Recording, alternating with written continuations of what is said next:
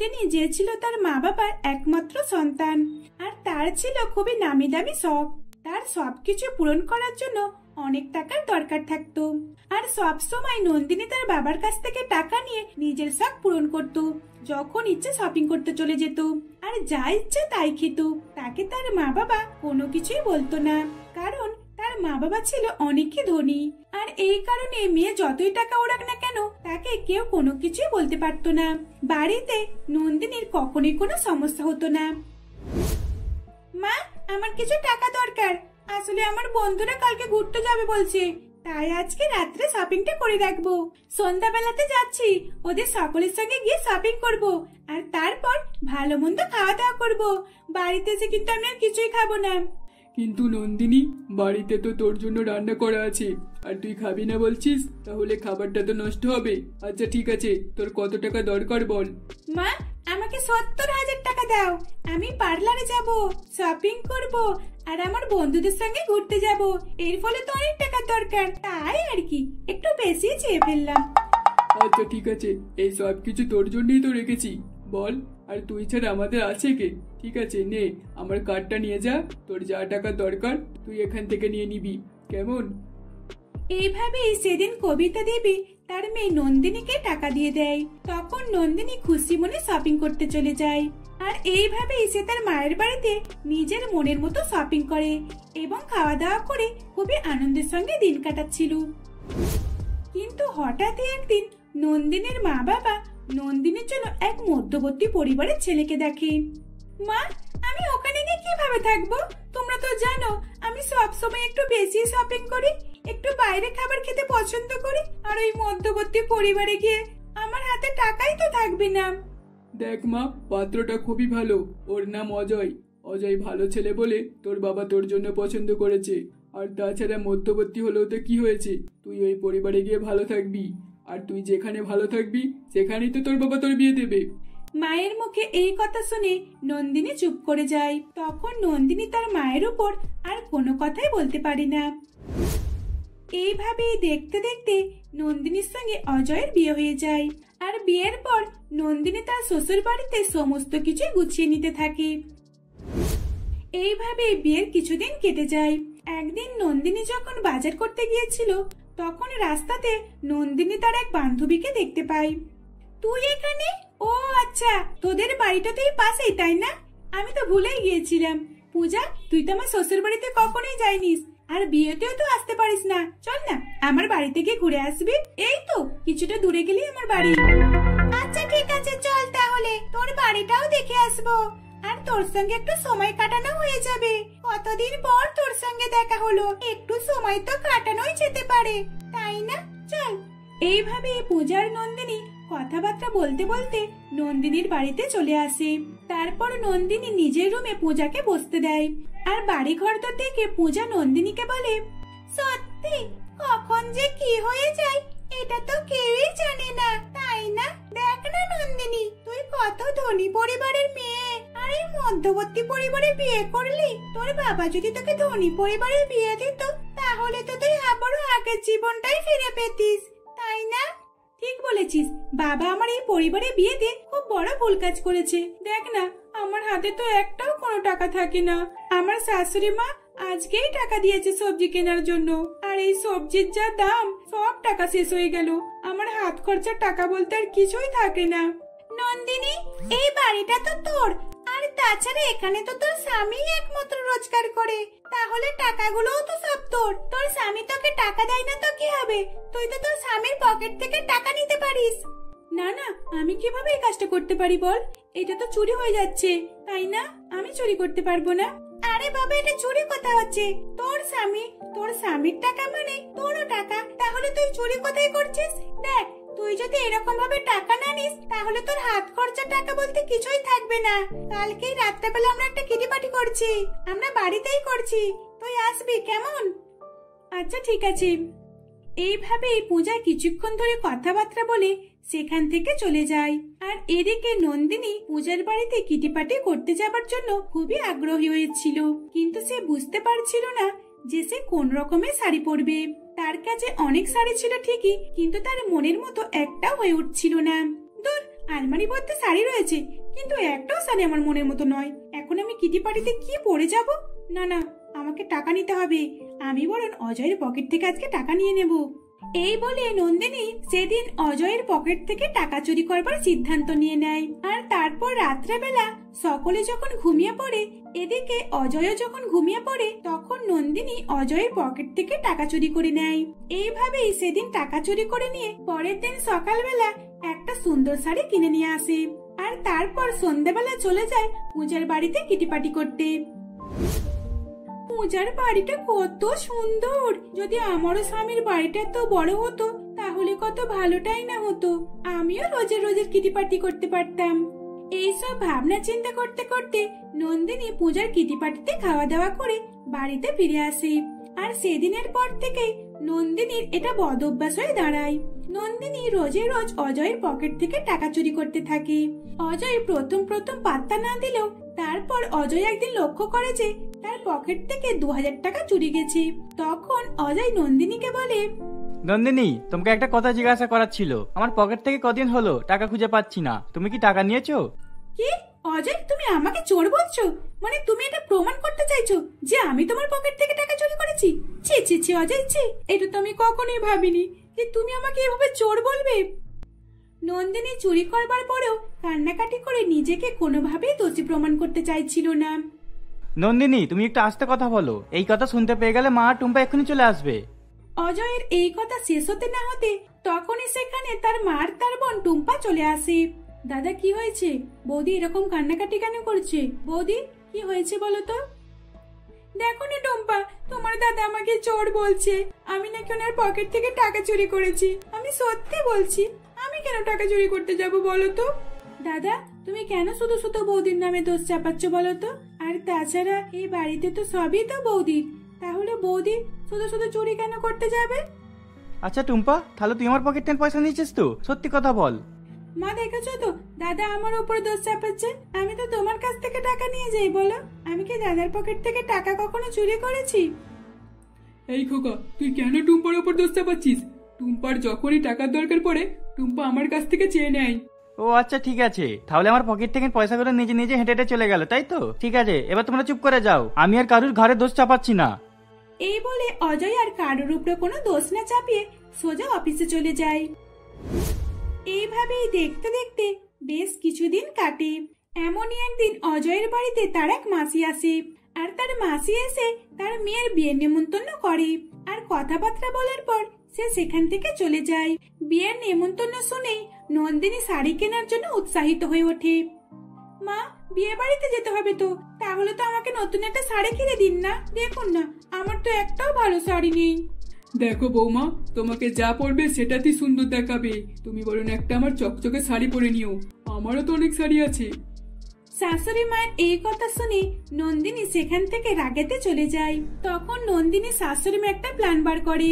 আর তারপর সেই প্ল্যান অনুযায়ী কাজ করতে থাকে। পরের দিন সকালবেলা নন্দিনীর হাত পুরো নীল কালারের হয়ে যায় আর সে সকলকে খাবার দিতে গিয়ে ধরা পড়ে যায়। বৌদি তোমার হাতে এরকম কালারিং কীভাবে হয়ে গেল? টুম্পা আমি তোকে বলছি তোর বৌদির কীভাবে এরকম কালারিং হাত হয়ে গেল? আচ্ছা বৌমা যাও তুমি আগে হাতটা ধুয়ে এসো। আমি জানি তোমার হাতটা জ্বালা জ্বালা করছে। মায়ের মুখে এই কথা শুনে টুম্পার অজয় খুবই অবাক হয়। তখন অজয় তার মাকে সব ঘটনা খুলে জিজ্ঞাসা করে। তখন বৌমা আসতে টুম্পার মা বলে, খোকা, তোর পকেট থেকে এতদিন ধরে বৌমাই টাকা নিচ্ছিল, কারণ কালকে আমি বৌমাকে যাই শাড়ি কিনে দেবো না বলেছি, অমনি বৌমা রাগ করে চলে গেল। আর তখনই আমি বুঝতে পেরে গিয়েছিলাম যে বৌমারই কাজ হবে, তোর পকেট থেকে টাকা চুরি করা। তাই তোর পকেটে কিছু টাকা রেখে আমি সেই টাকাগুলোতে একটা কেমিক্যাল স্প্রে লাগিয়ে দিয়েছিলাম, যাতে ওই টাকাগুলোতে হাত দিলেই হাত নীল হয়ে যাবে। আর এর ফলে তাতে আমরা চোরটাকেও হাতে নাতে ধরতে পারি। শাশুড়ি মায়ের মুখে এই কথা শুনে নন্দিনী কি বলবে না বলবে সেটাই তো বুঝতে পারছিল না। সে পুরো চমকে উঠেছিল আর থতমত খেয়ে গেছিল। নিজের ভুল আর চুরিটা সকলের সামনে চলে আসবার কারণে তখন সে নিজের ভুল বুঝতে পেরে সকলের কাছে ক্ষমা চাইতে থাকে। অজয়, দয়া করে আমাকে ক্ষমা করে দাও। আমি আর কখনই তোমার কাছ থেকে টাকা চুরি করব না। আসলে তুমি তো জানো, আমার অনেক কিছু কেনাকাটার শখ যায়। আর বাইরের সব খাবার যেমন বার্গার পিৎজা এইসব খাবার খুব ইচ্ছে করে। কিন্তু আমার কাছে তো টাকা থাকে না, তাই আমি এইসবগুলো খেতে পারি না। তাই আমি তোমার কাছ থেকে টাকা নিয়ে এইসব খেতাম আর শপিং করতাম। নন্দিনীর এই কথা শুনে তখন সকলেই নন্দিনীকে ক্ষমা করে দেয়। কারণ সকলেই জানতো নন্দিনীর এই অভ্যাসটা ছোটবেলা থেকেই আছে। কারণ নন্দিনী তো ধনী পরিবারের মেয়ে। এই কারণেই তার শাশুড়ি মা তাকে কিছুই বলে না। সেদিনের পর থেকে নন্দিনী চুরি করা ছেড়ে দেয়। আর এইভাবেই তারা হাসি খুশিতে দিন কাটাতে থাকে। শম্পা দেবী তার স্বামী কৈলাসবাবু এবং এক ছেলে মদন ও বৌমা মালিনী আর তার দুই ছোট ছোট মেয়ে সীমা ও শিলাকে নিয়ে গ্রামে বসবাস করে। পরিবারের সকলেই তারা ডাল, ভাত, শুকনো রুটি, আবার কখনো কখনো কারখানায় কাজ না হলে তাদেরকে শুধু জল খেয়েই দিন কাটাতে হতো। তারা খুবই দরিদ্র ছিল আর এই দরিদ্র হওয়ার কারণেই সীমা আর শিলা যত রকমের অভিযোগ ছিল, এমনই একদিন মা, তুমি আমাদের প্রতিদিন এই ডাল ভাত কেন দাও? আমাদের এইসব খেতে একদম ভালো লাগে না। আমাদের জন্য ভালো কিছু বানাতে পারো না, নাকি? এই রকম প্রতিদিন ডাল ভাত আর শুকনো রুটি খেতে কার ভালো লাগে বলো তো? শিলা, মা, আজ অন্তত খেয়ে নে না, কারণ আমি তো সবই বুঝি। কিন্তু কি আর করব বল? তোদের জন্য তো আর মটন কিনে আনতে পারি না, কারণ মটনের তো অনেক দাম, আর মাছ মাংসেরও অনেক দাম। আর তোর ঠাকুমা, বাবা কেউই তো খেতে চায় না, সকলেই মটন খেতে চায়। কিন্তু সেটা তো আনবার জন্য আমার কাছে পয়সাই নেই। হ্যাঁ গো বৌমা, ঠিকই বলেছ। ছেলে মেয়েগুলো খাবারের জন্য কি করছে? কিন্তু আমরা ওদেরকে ভালো মন্দ খাবারই দিতে পারছি না। জানি না তোমার শ্বশুর মশাই আর মদন কবে ভালো কাজ করতে পারবে, আর তবেই আমরা একটু পেট ভরে, মন ভরে খাবার খেতে পারব। এভাবেই তারা তিনজন মিলে কথাবার্তা বলছিল। দুই ছোট ছোট নাতনি, সীমা আর শিলা, তারা তো সুস্বাদু ভালো মন্দ খাবারের কথা বলছিল। কিন্তু পয়সা না থাকার কারণে তারা কোনো কিছুই ভালো মন্দ সুস্বাদু খাবারের আয়োজন করতে পারছিল না। এভাবেই সময় অতিবাহিত হচ্ছিল। এমনই একদিন মদন আর তার বাবা কাজ থেকে বাড়ি ফিরছিল। জানিস মদন আমার তো বাড়িতে যেতে ইচ্ছাই করছে না। সেই বাড়িতে গেলেই তো ডাল ভাত আর না হলে শুকনো রুটি। ওসব খেতে আর কি মন চাই? এত খাটাখাটনি করার পর ওইসব খাবার খেতে একদমই মন চাই না। বাবা কি আর করা যাবে? আমাদের তো তেমন রোজগার নেই আর রোজগার না থাকার কারণে তো আমাদের ওইসব খেতে হচ্ছে। বাবা তুমি চিন্তা করো না। দেখবে আমরা একদিন ঠিক ভালো মন্দ খাবার খাব। হ্যাঁ রে কোকা কি যে বলি আমি কিছুই বুঝতে পারছি না। কারখানাতে কাজ করার পর আমাদের একটা সামান্য মাইনে দেয় আর সেই মাইনেতে আমরা মোটেও শান্তিভাবে থাকতে পারছি না। এভাবেই সেদিন মদন আর তার বাবা কৈলাসবাবু কথাবার্তা বলতে বলতে বাড়িতে পৌঁছে যায়। তারা দুইজন বাড়িতে এসে দেখে যে সকলেই খাবার খেতে বসেছে আর তারাও হাত মুখ ধুয়ে খাবার খেতে বসে পড়ে। কিন্তু তখন কৈলাসবাবু আর মদন মোটেও খাবার গালে তুলছিল না। আর তখন সেই দেখে শম্পা দেবী বলে কিরে, কি হয়েছেটা কি তোদের? কিরে মদন, কি হয়েছে? তোরা খাবার খাচ্ছিস না কেন? এত খেটে খুটে এসে তোরা খাবার খাবি না? তোরা খাবার না খেলে আমরা কীভাবে খাব বলতো? কি গো, তোমার কি হয়েছে? আজকে তুমিও খাবার খাচ্ছ না কেন? শম্পা দেবীর এই কথা শুনে তখন মদন আর তার বাবা কৈলাসবাবু কোনো কিছু না বলেই খাবার খেতে শুরু করে। তারা যেমন হোক করে সেদিন ডাল ভাত খেয়ে উঠে পড়ে, কারণ কারোর মুখেই ডাল ভাত আর ভালো লাগছিল না। আর এভাবেই কিছুদিন কাটার পর একদিন মদন আর কৈলাসবাবু কারখানাতে সারাদিন ধরেই কাজ করতে থাকে, যাতে একটু বেশি টাকা মাহিনা পাই আর সেই মাসে দুইজনেই ভালো টাকা মাহিনা পাই আর সেই টাকা পেয়ে তারা অনেকই খুশি হয়। খোকা, আজ তো আমি ভেবেই নিয়েছি, আজকে আমি আমার পরিবারের জন্য মটন কিনে নিয়েই যাব। বাড়িতে গিয়ে বৌমাকে বলব মটর পনির রান্না করতে। হ্যাঁ বাবা, তুমি ঠিকই বলেছ।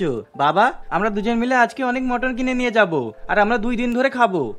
এই বলে মদন আর তার বাবা বাজার থেকে মটন পনির কিনে নিয়ে যায়। আর তাদের হাতে মটন পনির দেখে সীমা আর শিলা খুবই খুশি হয়ে যায়। মদন তার বউকে সেই মটন পনির রান্না করে নিয়ে আসার কথা বলে। আর তারা খাবারের সময় সকলেই মটন পনিরের অপেক্ষা করতে থাকে।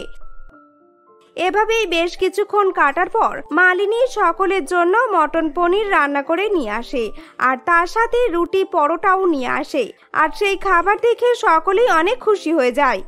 মা, আজকে আমি অনেক খুশি। জানো তো, আজকে অনেক দিন পর এই মটন পনির খেতে পাচ্ছি। আমি তো ভাবতেই পাচ্ছি না, আজকে আমি মটন পনির খাব। মা, জানো তো, আমার সব বন্ধু বান্ধবরা মটন পনির, মটন বিরিয়ানি এই সব কিছুই খায়। কিন্তু আমি তো কিছুই খেতে পাই না। আর ওরা যখন ওইসব খায়, তখন আমারও খুব ইচ্ছা করে মটন পনির, মটন বিরিয়ানি খাবার। আচ্ছা আজকে তোর বাবা মটন পনির কিনে এনেছে, আজকে তুই মন ভরে খেয়ে নে, ঠিক আছে? আর কালকে আমি মটন বিরিয়ানি রান্না করব।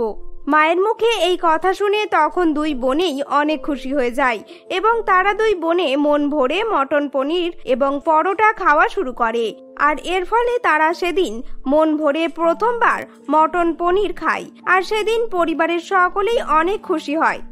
কি গো শুনছো? তুমি কি দেখেছ? আজ তোমার দুই মেয়ে কতটা খুশি হয়েছে মটন পনির খেয়ে? ওরা তো এসব খাবার খেতে পছন্দ করে। কিন্তু টাকা না থাকার কারণে আমি তো আমার দুই মেয়েকে ভালো মন্দ খাবার দিতেই পারি না। তোমার আর বাবার জন্য আমরা সকলেই আজ মটন পনির খেতে পারলাম। হ্যাঁ এই সুস্বাদু খাবার জন্যই তো আমরা রাত দিন সব সময় কাজ করতেছিলাম, যাতে দুটো টাকা বেশি আসে। আর আজকে যাই বেশি আসলো, তাই ভাবলাম পরিবারের জন্য একটু ভালো মন্দ খাবার নিয়ে যাই।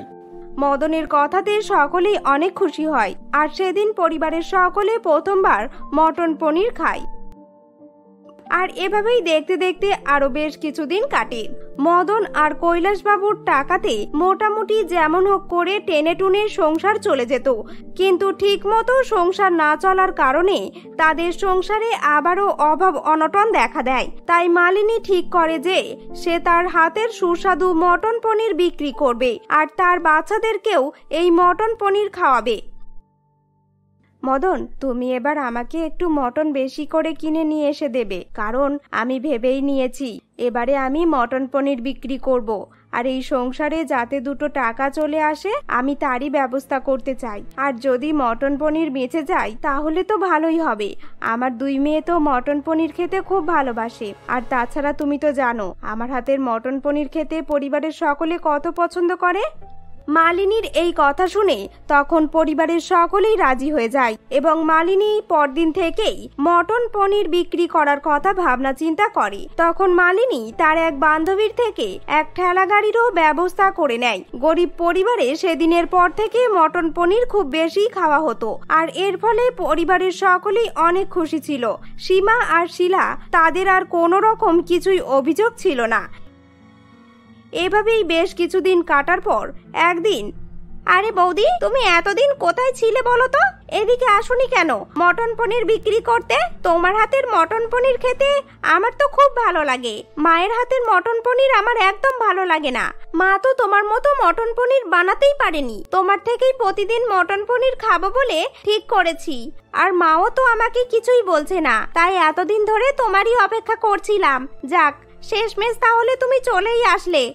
আচ্ছা তাহলে আমার জন্য তোমরা অপেক্ষা করছিলে? আমি তো এটাই দেখতে চাইছিলাম যে আমার হাতের মটন পনির খেতে কার কার বেশি ভালো লাগে। তাই জন্য আমি এদিকে নয় অন্য দিকের গ্রামে অন্য পাড়াতে মটন পনির বিক্রি করছিলাম। তাই আমি এদিকে আসছিলাম না। কিন্তু তোমার এই কথা শুনে আমার অনেক ভালো লেগেছে। এবার থেকে আমি প্রতিদিন এদিকেও আসব।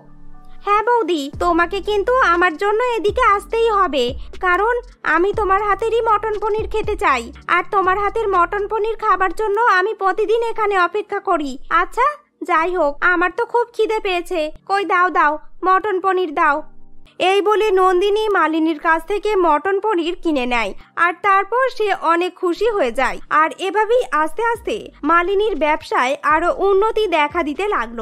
শ্বশুর মশাই আর স্বামী যা টাকা রোজগার করত, তাইতেই তো সংসার চলে যেত। এমনকি কমও পড়ে যেত।